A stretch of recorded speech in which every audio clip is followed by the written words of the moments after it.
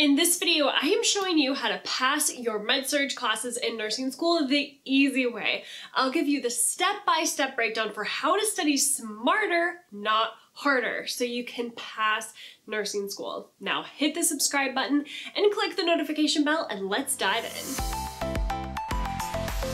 Now, full disclosure, there are a bunch of trucks outside, so I'm gonna try to talk loud so that I can talk over the truck. So I hope it doesn't bug this video too much. Our neighbors are cutting a tree down next door. It's getting a little loud. Med-surg nursing is one of the hardest topics to learn in nursing school. There are so many different diseases and disorders to know, and it's so difficult to figure out what information is important and what information isn't. You don't want to waste your time studying the wrong things that aren't going to be on your exams. There are so many mistakes that I see nursing students make, like reading every word in the textbook and then not connecting the dots and learning how to critically think. I'm going to spill all of the beans today and give you the secret on what you actually need to study in med-surg and what you don't, and then how to critically think along the way. And this whole process starts by learning how to take amazing notes in class because without good notes, your studying will just totally fall apart.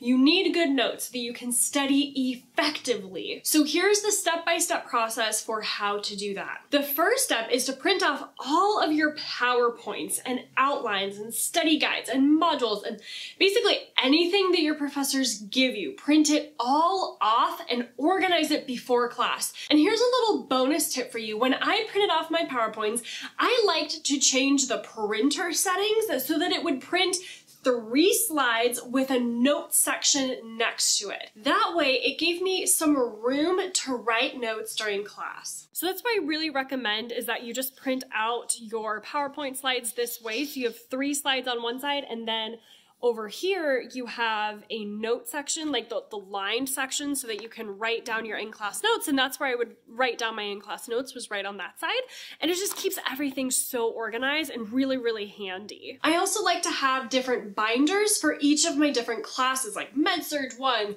Skills Lab, and Clinical, all the classes I was taking. This just really helped me to keep everything organized really nicely, so put all of those papers that you just printed off into the appropriate binder. So I wanted to show you really quick kind of how I organized my binder system. Like I said, I really, really recommend that you have a separate binder for each class. That way, if you don't have like clinical one day, then you don't need to take your clinical binder. If, you know, you don't want to carry more than you need. Same thing with like lecture. If you don't have lecture one day, then you don't have to take your lecture binder. So here are kind of all my, some of my binders that I pulled out. Um, this one is Dose Calc, if you can see that. Um, this one was Med Surg. I've got another, this was clinical, um, another clinical one. So kind of just pulled. And yes, I'm in sweatpants because, well, it's Monday and it's raining outside. So no judgment. Now during class, you have two choices. You can take notes directly onto your PowerPoint slides like I did, or you can take notes on a separate piece of paper or a separate notebook. If your professor doesn't teach off a PowerPoint, you'll need to take notes in a separate notebook. So this is step number two. Decide how you want to take notes in class and then follow through with it. Are you going to take notes in a separate notebook or directly on your slides or your study aids that your professor gave you? When I took notes on the PowerPoint slides, I liked to write all of my class notes on that note section next to the slides as much as possible. That left me a lot lot of room to take notes from the textbook all around the edges of the paper. We'll get to that strategy in a minute, but that's how I did that. So in class, I would try to keep my notes condensed to the lined area as much as possible. And then once class is over, you can go home and find the places in the textbook that correspond to the topics that your professor talked about in class. I have talked about this strategy a lot here on this channel because it's one of the best study strategies to use in nursing school. Focus on studying the things that your professors talk about in class. Do not worry about reading every single thing in the book. that's a huge waste of time. You'll never actually have time to learn it. You'll just spend all your time reading. And it's important to learn how to focus. And the best thing to focus on that I have found are the topics that your professors talked about in class because those are the ones that are most likely to show up on your exams. Now, if your professor doesn't lecture during class or if you spend class just going over case scenario questions, don't worry, friend, I have the answer for you on how to study. Stay with me, we will get there in just a minute. So step number three is to find the places in the textbook that correspond to what you just learned in class and then take notes from the textbook onto the same note pages that you used in class. This just keeps all of your notes organized and in one place so you're not flipping between different notebooks trying to find information in your notes. I liked to keep all of my class notes and textbook notes in all the same place. And you can see around my notes section here up at the top, like around here, I have my textbook notes. So that's where I would write my textbook notes. So here on the, the line section, I would write my in-class notes. And then when I got home and read those sections of the book that we covered in class, then I would write those notes around the edges. That way I knew where my notes came from. So I knew that everything written on these line sections here was from class and then everything around the edges or like on the backs of them would be from my textbook. It's just a really, really good way to keep everything organized. And then this way, when it came to finals time, I didn't have to reopen my textbook because all of my notes were in one place. All I had to do was just study this. So that's why I leave room around the edges of those note pages, the PowerPoints. I wanted to make sure that I would have enough room to write down all of my textbook notes. And here's another pro tip for you. Write the page numbers from the textbook next to where you wrote your notes so that you know what page they came from. That way, when you're studying for your exam, you don't need to search back through the textbook. You can just quickly flip to the right page because you wrote down the page number that you got it from. It just keeps everything so much more organized. And then I would write the page numbers just on the top of the slides there. You can see here page numbers just down on each top of the slide. So that way I knew where um, I got that information from the textbook or where that section was in the textbook, just in case I had to break that textbook open again. Oftentimes I didn't, but just in case, I wanted to make sure that I wasn't like searching and uh, through all of my textbooks trying to figure out where that information was. I could just look at that page number there and there it was for me. Super easy peasy. It just makes coming, uh, when you start uh, coming up to finals time, just makes it so much easier and way less stressful when you have everything organized and in one place. Now in just a minute, I'm gonna tell you exactly what to focus your study time on after you take all of those notes. And I'm also going to give you a breakdown down of how to critically think and connect all of the dots about it. So hold on tight, you are going to be a MedSurg pro after this video. So those are the three steps for how to take efficient notes in class. Print everything off, take your in-class notes either on a separate notebook or on a PowerPoint or module. And then when you get home, focus on reading the sections of the book that your professor talked about in class or outlined in the modules or the study aids. This will really help you focus your study time and help you be super efficient. Now, a common question that I get from students is, Christina, my professors don't actually teach us anything. What am I supposed to do then? Well, friend, don't worry for one more second because here's the secret about med surg that nobody tells you. There are four main things that you need to focus on in your med surg nursing classes. Pathophysiology, signs and symptoms, nursing assessment, and nursing interventions. That's it. End of story. So if your professor doesn't lecture during class, or if you don't really learn anything, or if you're just going through a lot of case scenario questions, then here's what you're going to do. Take the topics of your case scenarios, the modules, the syllabus, or other study material that your school gave you, grab a notebook, and then you're going to go through each med-surg disorder one by one and write down these four things, pathophysiology, signs and symptoms, nursing assessment, and nursing interventions. Then go through your textbook and write down those answers for each one of those categories. So for med-surg disorder number one, let's say that it's heart failure you'll write down the pathophysiology of heart failure.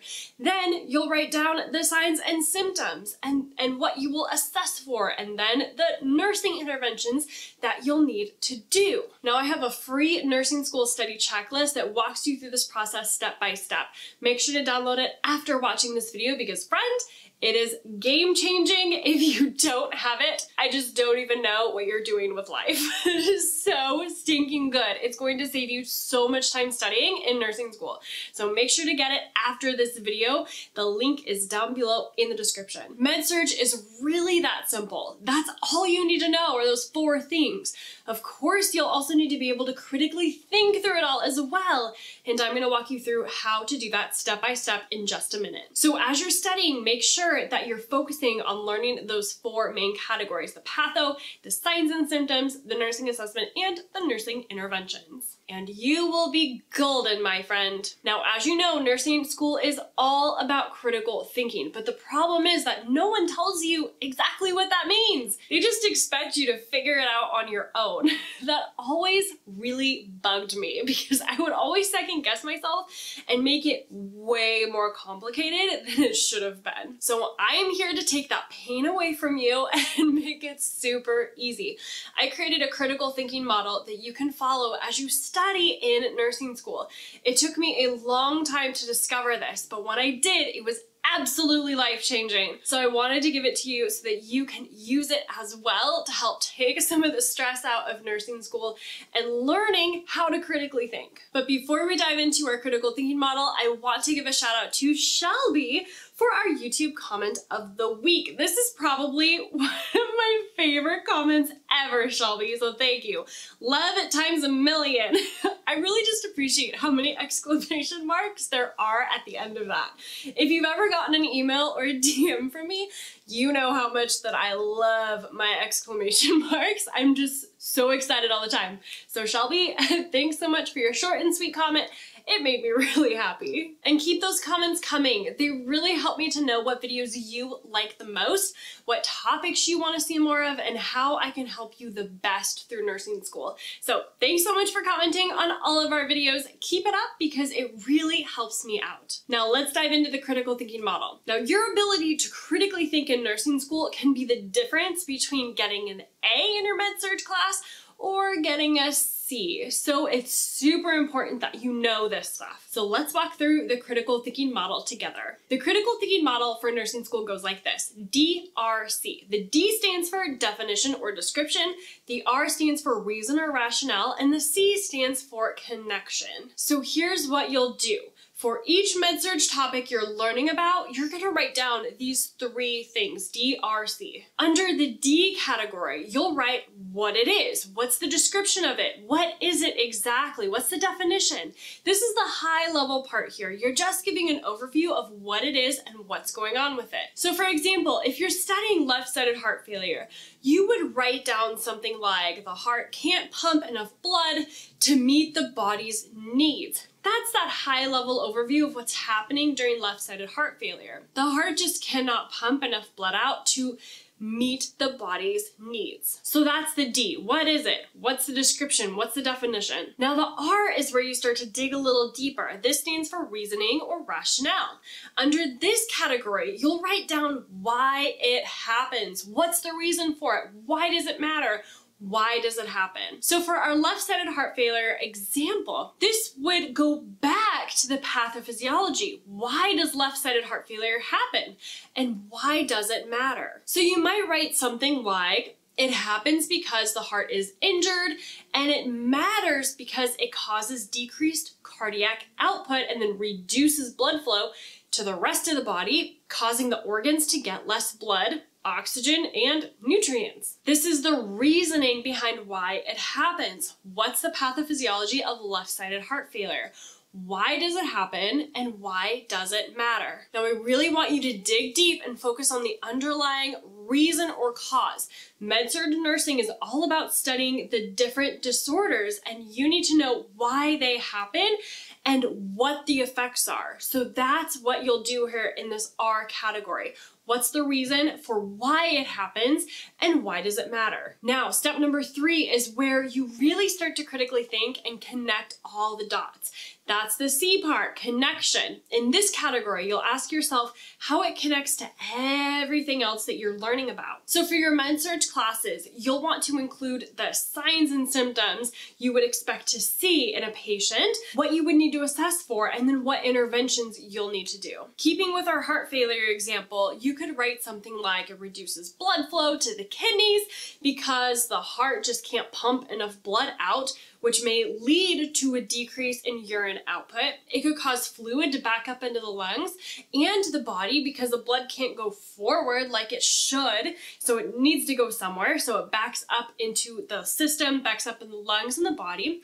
And this could lead to pulmonary edema, congestion. So you might hear crackles in the lungs. And you'll also need to assess for weight and level of edema and urine output because of those things. Add as much detail as you like here. The more you can connect these concepts together, the better off you're going to be for your exams. The critical thinking model is going to help you soar in nursing school. If you use that to study, you will be so amazed at how well you understand all of the med-surg disorders.